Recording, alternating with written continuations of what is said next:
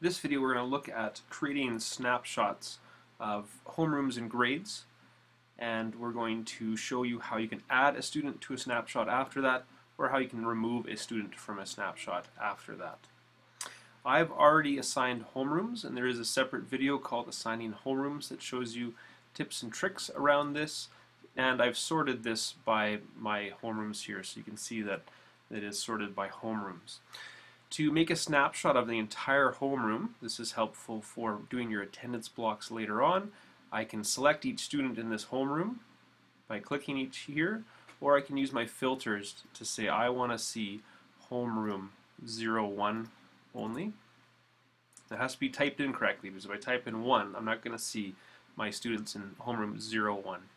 So I've got these guys here. I'm looking at 16 students. This is important when you're doing this options and snapshots. And I can create a snapshot and I've already created one for this one um, but just as an example. For my school I could call this one 01 if you wanted to call it by the teacher name you could do that. Whatever you choose to do make sure you have a cheat sheet of your snapshots because you're, you're going to use them later when you push kids into their various curricular courses and their attendance courses they need. So keep it simple and keep it straight. So let's just call this one 01. I'm going to hit a new. Name is going to be 01. You have some options as to whether you save it as a filter. If you save it as a filter, it would show up in the list here. So choose that wisely because you may or may not want to do that. And you can tell it to move to the top of the list if you save it as a filter. From here I'm going to hit save and now I have a new snapshot called 01. And that's handy because if I ever want to look at just 01, I can do it, look at the snapshot. But since this is based on a homeroom, I can just use the filters homeroom, show me the homerooms. The reason why we want to do a snapshot of this is later on when we're in the schedule top tab and we're trying to assign all the students in this homeroom, we can't do it unfortunately by homeroom. You have to do it by a snapshot. So that does it for homeroom 1. Now if you want to see everybody, change it back to all active students. You can, or you can sort by homeroom 2. And I actually want to go a little bit further and try to find a homeroom here that is a split class because it's important that you do three snapshots for a split class. So I'm just trying to find a grade here that has three. It has two different grades. So homeroom 08 is a split class, so I'm just going to filter to 08 and I'm going to see that uh, I've got grade 2s and grade 3s in this class. So I want to make three snapshots. One, I want to make a snapshot of everyone in the room for my attendance sections. Then I'm going to make a snapshot for the grade 2s, and I'm going to make a snapshot for the grade 3s. So I've got everybody here all ready to go. Options, snapshots. We're going to call this one 08. This will represent all the kids in homeroom 8. Now I'm going to create a snapshot called 08G2 for grade 2s and then one later for G3s.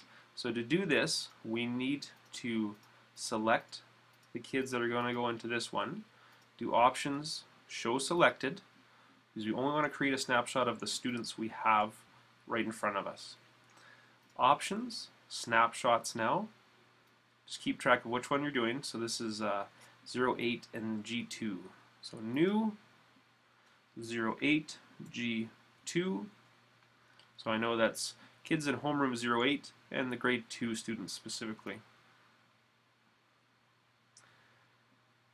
Now to get back to the grade 3s, I can use my filter to go back to homeroom 08.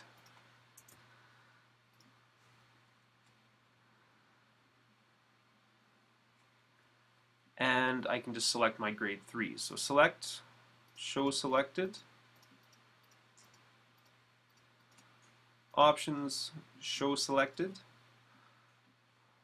options, snapshot, new snapshot 08G3. and hit save.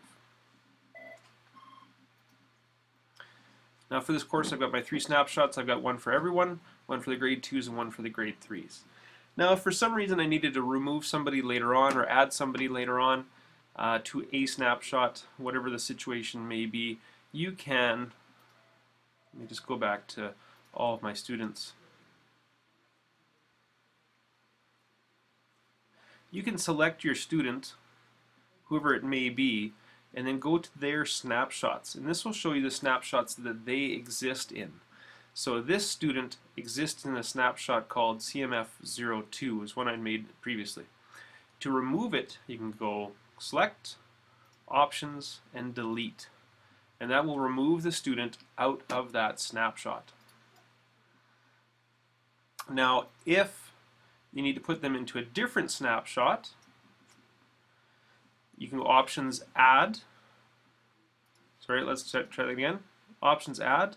So in the snapshots options add, it goes right to your list of snapshots that you do have existing, and I can move them over into a different snapshot now. Um, you can put them into several if you needed to, for whatever reason. This does not change their courses. It doesn't change their homeroom.